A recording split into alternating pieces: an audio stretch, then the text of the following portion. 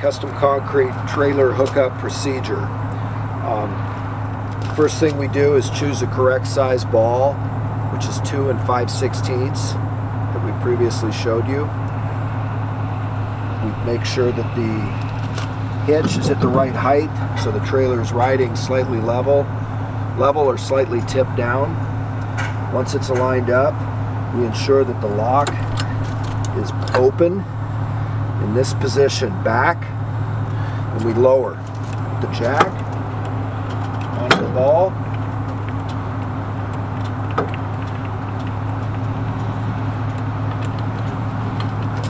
Once once the jack is loose we push this forward that way and repin. Safety chains are crossed under, connected. This way, this falls, it's captured in, in here. The emergency brake cable is routed through and connected, making sure there's some slack. Power cord has a notch on the top there's a clip under here.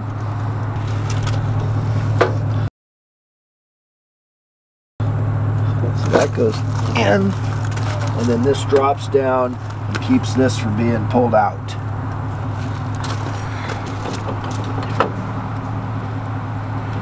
Continue to raise the jack till you can swing it out of the way. Pull the pin 90 degrees, replace the pin all the way down. Then we go around and we remove the wheel chocks. Then we'll do a walk around to check the running lights, brake lights, and turn signals. And we're good.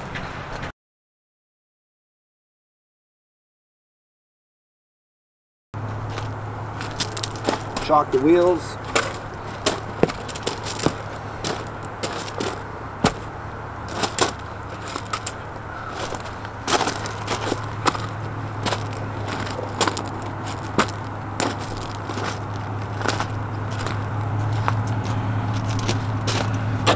pin, let the jack swing,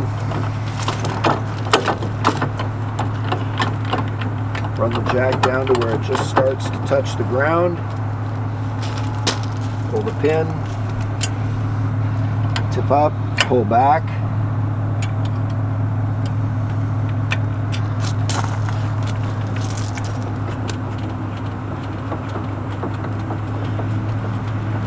raise this Looks above the ball.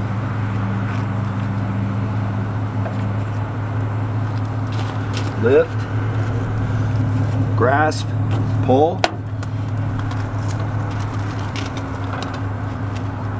Disconnect here.